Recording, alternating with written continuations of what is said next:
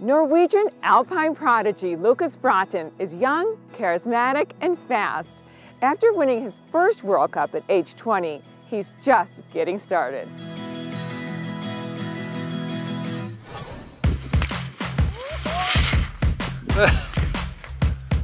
We're so lucky to ride the lift with you here at Copper Mountain while you're here training. Tell us how much you like coming to America. So much. Um, I was really sad when we get, didn't get to do it last year due to COVID. So getting back here in Copper, uh, getting some real training, both GS and some Super G with the boys, it's been awesome. Good. You, the snow is perfect in Colorado, isn't it? It is. It's something that is nowhere to be found in Europe. That's why I enjoy it so much. It's so unique to skier. You feel like a world champion.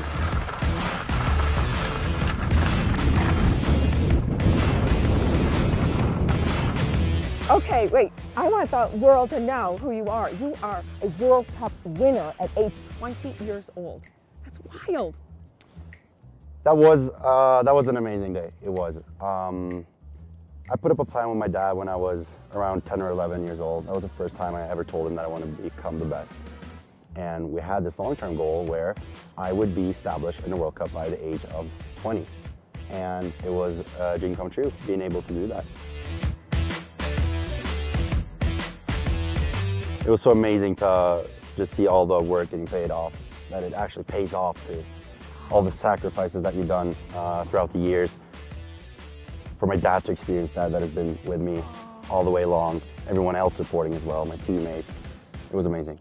You are becoming more and more famous, and so I'm so, I feel so privileged to have an interview with you.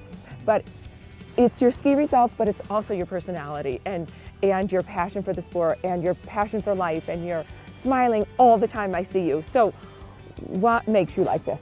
The source of positivity, happiness is, I think that's the key of, you know, skiing fast and enjoying life uh, of skiing. It's, it's so much more to life than just red and blue gates, you know. The, the real thing that actually makes me happy about skiing is uh, getting exposed to new cultures. It's uh, meeting new friends. It's exploring places like this that is nothing like home.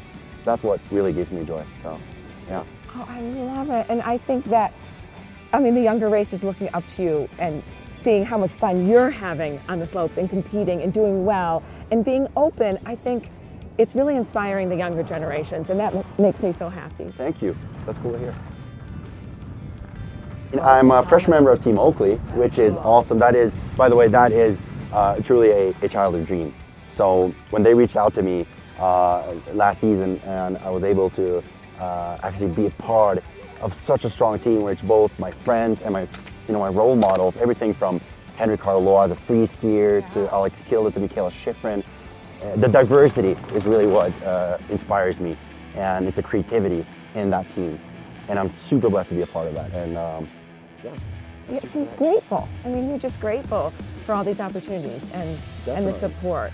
I mean, I would never imagine, you know, when you start off skiing, um, You know, when you're a kid, you're just dreaming of getting free stuff one day, you know? just the discount code is, means so much. and now I'm at a point where I can be a part of building the brand while it's building my brand as well. That is so cool. Yeah. What in your technique makes you go so fast? Like you were talking about the, giant palm turn, that gets me so excited because I love technique. What? What do you do that's so good? Right, so I grew up obviously uh, watching a lot of YouTube. Um, the access to social media through my generation, you know, it was heavy. So for me to watch Ted, Marcel, all these legends growing up, I learned so much from them. So I remember especially learning a lot from Ted with his explosive skiing. And what I, what's fascinating is that, you know, his revolutionizing of, of skiing, that inspires me so much. I want to do that myself. So my goal is really to have the fastest, fastest arc on tour. The fastest arc. Believe it or not, this is fulfilling a childhood dream. I've never been to Woodward, and ever since I saw it when I was like 10, 11 years old, I always wanted to go, and today is the day. Tell us what all the other things you do other than ski racing. Everything that could uh, give me some adrenaline. I'm an adrenaline addict. So everything that does, you know, cliff diving, surfing, everything where I can push boundaries, I love.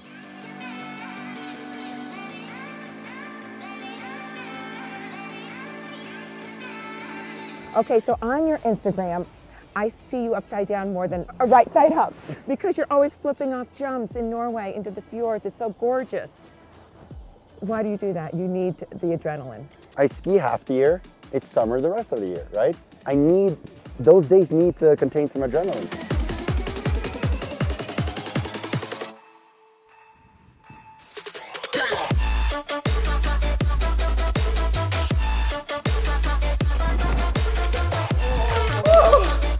You did get injured last year, but you've come back strong.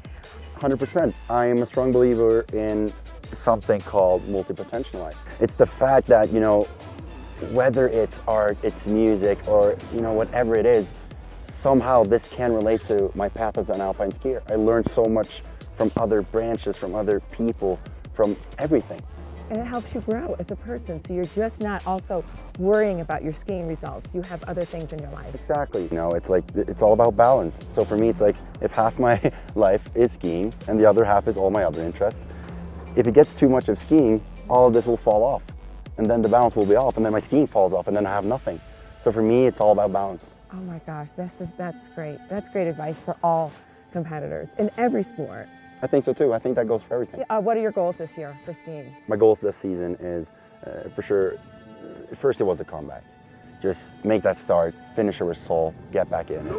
And that went well. So then I'm off to the next one. And that is to basically do consecutive top 10s, top 5s in the technical distance. In the world, in the world. It's in, wild, yeah. Yeah, and, um, and then next year, hopefully I can add up to some Super G as well. Are you better in giant slalom than slalom? So that is also a big goal of this year to increase the stability in, in slalom so that I can finish in good results uh, all races, not every other race. Okay. Mm. Lucas, thank you. You too. It's been a pleasure.